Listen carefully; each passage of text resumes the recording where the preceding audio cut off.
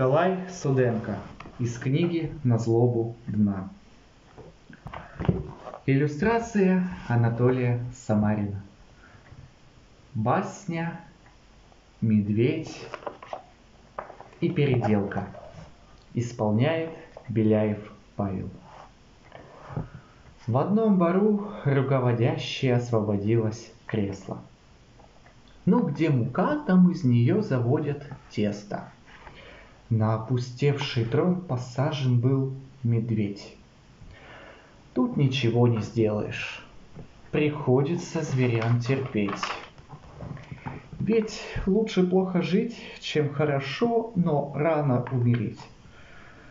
Где дуб стоял, там пень теперь. Присел герой наш на минутку, вздохнул. Как новости расстроили Мишутку — последствия это раз, разбитого до небес зверизма, это ведь не шутка. Да Мишеньки ослы здесь век царили, Деревья все корнями вверх пересадили, Засохли корни, а верхушки сгнили.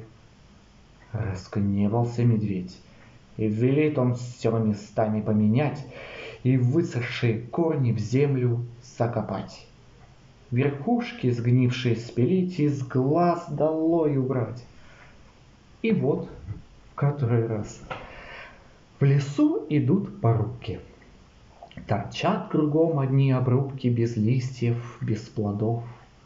Остались только трубки. От перестройки века взметнулись клубы пыли. От новой переделки зайчики по волчьи завыли — а ведь счастливы и они когда-то были. Мораль сей басни состоит из резких слов. Избавь нас, Бог, не только от ослов, но также от медведей без мозгов.